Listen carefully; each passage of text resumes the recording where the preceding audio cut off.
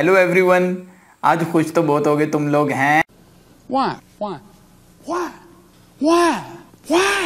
मुबारक हो दोस्तों। इंडिया से चाइना का कूड़ा निकालकर फेंक दिया गया। टिकटॉक और टिकटॉक जैसी ही 59 चाइनीज़ ऐप्स को इंडिया में बैन कर दिया गया।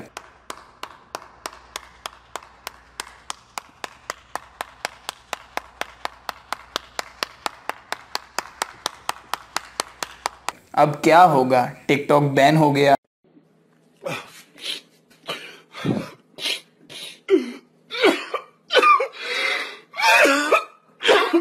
दोस्तों, इस बैन का बहुत सारे लोगों पर बहुत भयंकर असर पड़ने वाला है।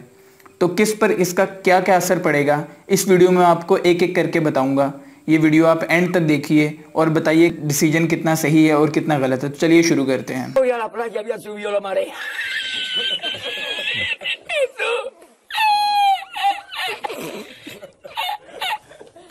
a la गाइस आसमान में जितने तारे नहीं हैं टिकटॉक पे उतने स्टार्स थे। अब इन स्टार्स का क्या होगा? इनकी रिंग लाइट्स का क्या होगा? इनके लाल, पीले, नीले हेयर कलर का क्या होगा? इनके बालों में लगे जेल का क्या होगा? ये जो कुकड़ की तरह बाल सांप बनाकर खड़े किए होते थे, इनका क्या सिस्टम होगा? अब मेरी समझ में नहीं आ रहा।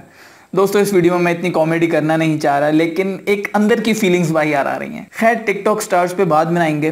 पहले जो चीज़ इंपॉर्टेंट है, वो डिस्कस कर लेते हैं कंट्री की नेशनल सिक्योरिटी गाइस गवर्नमेंट ने स्पेशली मेंशन किया है कि इस तरह की चाइनीज़ ऐप्स हमारा डाटा चुराती हैं और उनका मिस करती हैं, जो कि हम सिर्फ़ यूज़र्स के लिए ही नहीं, बल्कि कंट्री की सिक्योरिटी के लिए भी बहुत ज़्यादा डेंजरस है।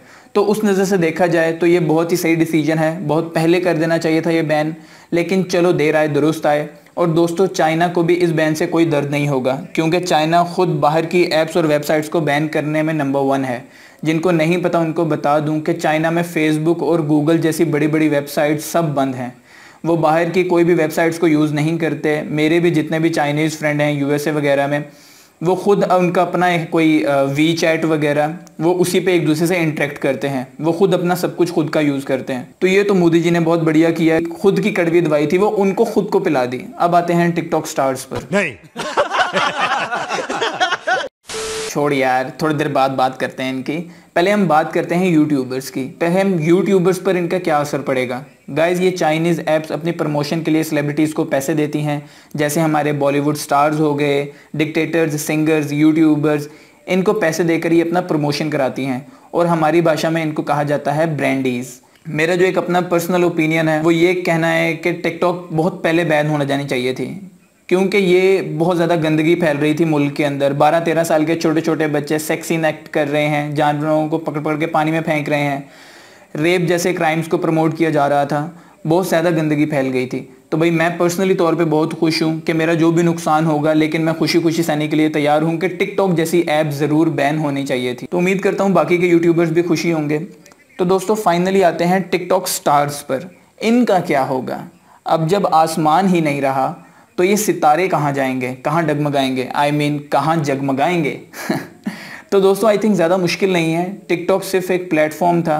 आप कोई और प्लेटफॉर्म यूज़ कर लीजिए फेसबुक है यूट्यूब है इंस्टाग्राम है, आप वहाँ पे जाइए, अपना टैलेंट दिखाइए और कंटेंट बनाइए। बस एक चीज़ का ध्यान रखना पड़ेगा, यहाँ पे ओरिजिनल कंटेंट बनाना पड़ेगा। मतलब देखो, अगर किसी और के डायलॉग्स पे सिर्फ़ मुँह हिलाओगे तो यहाँ नहीं चलेगा। किसी और के गाने पे सिर्फ़ ठुमके लगाओगे तो यहाँ नहीं चलेगा। क्योंकि कॉपीराइट क्लेम आ जाएगा। यहाँ पर आपको ओरिजिनल और अपना कंटेंट बनाना पड़ेगा। लेकिन आपको क्या टेंशन है? अगर आप टैलेंटेड हैं दोस्तों तो आपको कोई नहीं रोक सकता। आप कोई भी प्लेटफॉर्म यूज़ करिए और वहाँ पर जाकर अपना कॉन्टेंट बनाइए। बहुत सारी दंचा है आपको अप्रिशिएट करने के लिए and I wish you best of luck तो दोस्तों, आज की वीडियो में बस इतना ही। उम्मीद करता हूँ कि ये जो बैन हुआ है गवर्नमेंट ने जो टिकटॉक और बाकी चाइनीज़ ऐप्स को बैन किया है, ये बहुत सही डिसीज़न है। हमारी कंट्री की सिक्योरिटी के लिए बहुत अच्छा है, हमारे यूथ की मेंटल हेल्थ के लिए बहुत अच्छा है। जो भी आपका टाइम बचेगा, उसको कुछ नया सीखने के लिए यूज़ करिए। अपने दोस्तों के साथ स्पेंड करें, पढ़ाई करें, खुश रहें। और कमेंट करके ये ज़रूर बताइएगा कि आप मेरे इस ओपिनियन से सहमत हैं या डिसएग्री करते हैं, या वट एवर जो भी आपका एक अपना ओपिनियन है। तो दोस्तों, जल्दी मिलते हैं एक नई वीडियो के साथ। थैंक यू सो मच अल्लाह हाफिज़. Bye bye